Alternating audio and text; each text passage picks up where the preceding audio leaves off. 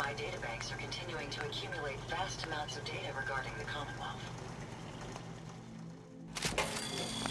I must apologize for the odd noises I'm currently emitting, a consequence of being mechanical in nature.